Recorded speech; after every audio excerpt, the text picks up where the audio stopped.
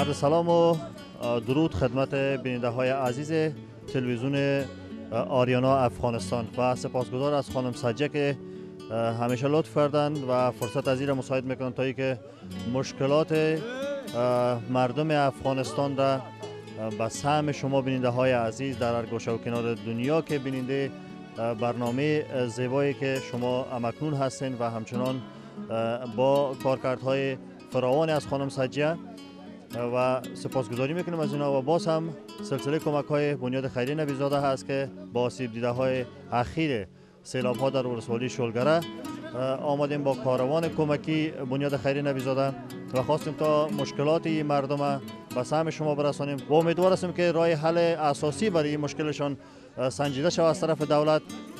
و به مشکل این مردم که هر سال دامنگیرشان است پایان داده شود. و شما همین گزارش تماشا بکنین و امیدوار هستیم که شما هم بتونین کمک های خوبی داشته باشین با ما.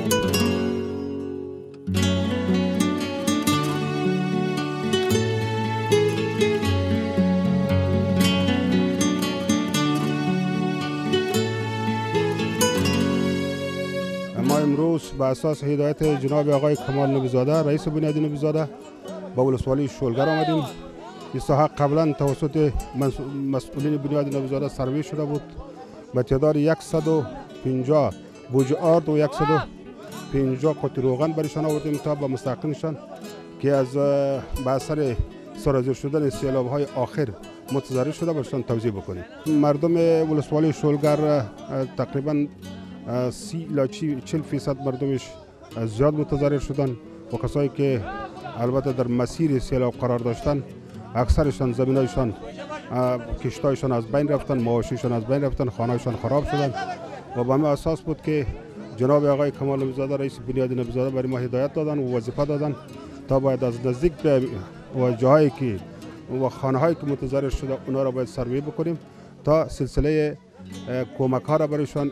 ادامه بدیم.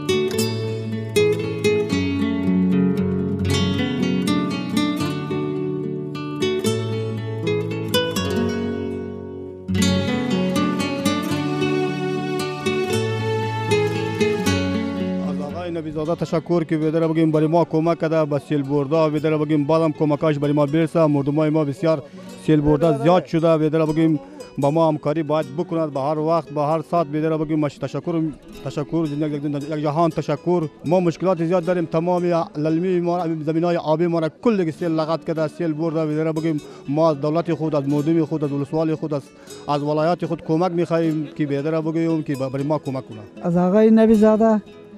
ما کمک کرده میشه همیشه خوش هستیم که کمک کنه مردم های شلگر خیلی در بدش سیلاب تشکر می‌کنیم